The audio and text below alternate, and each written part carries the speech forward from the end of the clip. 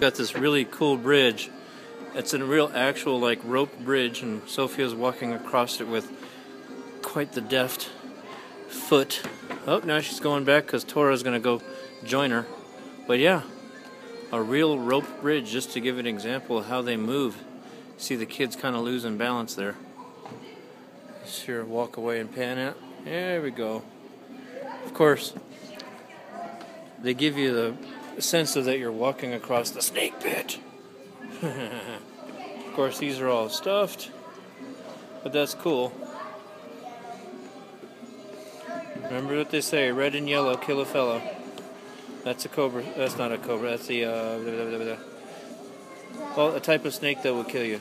Now, if it's red and black, that's a friend. So, but red and yellow will kill a fellow.